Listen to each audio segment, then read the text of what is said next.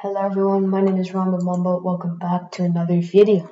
Today I'm actually going to be doing a user request in my Discord server and we'll be making some sort of plant growth progression. And so this is part of a series where we will have complete watering system, plant death, all sorts of stuff like uh, that to maintain your crops and grow your crops and seeds, stuff like that. So if you want to give me ideas for your next video, if you want help on a question, join my Discord down in the description. And also, let's get on with this video. Alright, so I have this very basic scene, which has a plane and a very basic first-person controller that I imported from the Unity asset store. And now I'll just be adding in the plants I want. So I'll go to my assets. I already have them ready, so I'll just go here and I want the dirt pile. I want the carrot plant and I want my eggplant. So keep in mind what you want is your progression of your plants. So I, right now I have three progression. First it'll start off as a dirt pile with seeds, and then it'll go to this small kind of plant, and then it'll go into this bigger plant. So that's the progression I want. So obviously you can tweak this, changes for whatever crop you want, but you want to have some sort of progression, some sort of uh, the stages of the plant's growth. So now we can actually make this all into stages. So I'm going to rename them. I'm going to rename the dirt pile. So I'll select the dirt pile. I'll rename it to stage 1. I'll rename the carrot plant to stage 2. And I'll rename the eggplant stage 3. So now let's put these all under one parent. That way we can actually set one of them active at each time and then increase the growth. So I'll right click and I'll create an empty object. I'll reset the position to 0, 0, and 0. I'll call it something like plant 1.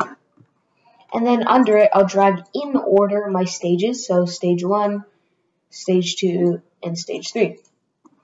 Perfect. And now I'll just zero out these as well. So I'll zero out all of the plants.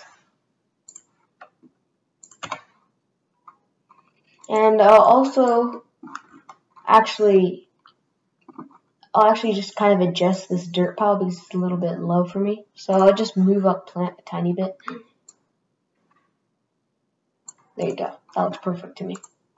So now if we hit play, you'll notice that we see, you know, all of our plants, but we only want one of them to show at a time. So let's create a script that does that.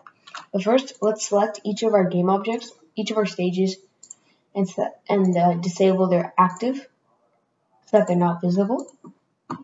And now let's go to our parent, which is plant 1, add a component, and I'll call it something like plant growth. And for now, this will be very simple. We'll just be transitioning. We won't have to worry about depth of the plants, watering plants, and stuff like that. So now that the script has been made, I'll double click on it and open it up in Visual Studios.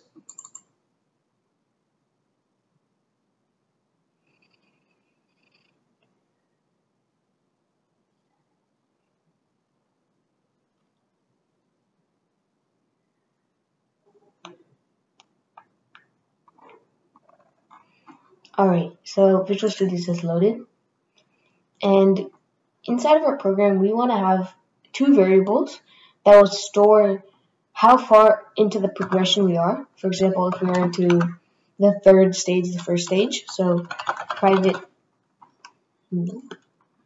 so private int current progression, and I'll set it to something like zero, and then I'll also make another variable, but I'll make it public this time, and I'll set this to time between growths.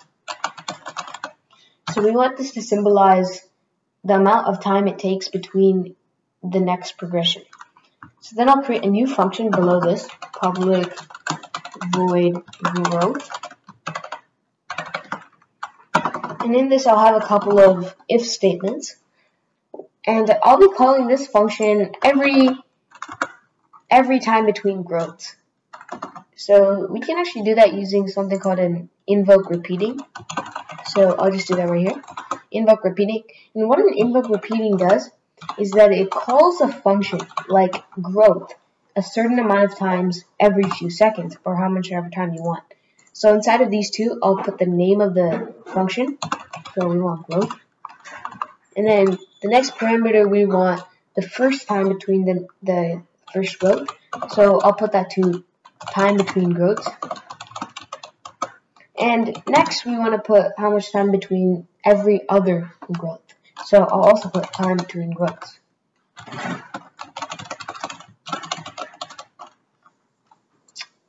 So now this function is being called every few seconds, every every time between growths. So we can do our code. And actually, I'll actually just make another integer called like int max growth. So this will represent the max stage it can reach. So the first I want to check if our current progression, if the stage we're at is not equal to the max. So if it's not equal to max growth, if it's not equal to max growth, then keep on growing. So we want to set our current game object that is under our child. So under plant, whichever one, whichever stage we're on, we want to set it to active. So we can do that through, through game object dot transform dot get child current progression dot game object dot set active true. Now the other case we could have is if our current progression is between 0 and less than our max. So we can do if current progression is greater than 0 and, and current progression is less than max growth. In this case, we want to set, for example, say we're on stage 2. We want to set stage 2 active, which we do here. We set it active. And then we also want to set stage 1 not active anymore. So we can just do game object dot transform dot get child current progression minus one because we're going for the one previous minus one dot game object dot set active false because we want to disable it. And lastly, all we want to do is if it's less than 3, if our current progression is less than our max. And when I say 3, I'm saying 3 because the max progression for us is 3. We only have 3 stages. 2 3.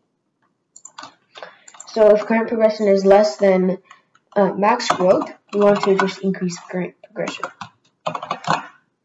So I know this code is a little bit jank, but just what I did on the spot, so we'll roll with it. So now if we save this, we head into Unity. And on our plate, I mean on our plant, we can set the time between growth. So I'll set this as something like 2. And for max growth, this will be the amount of stages we have. So we have 3 stages. So I'll set it to that. And now if we hit play, it should yep. Every two seconds, the plant is progressing.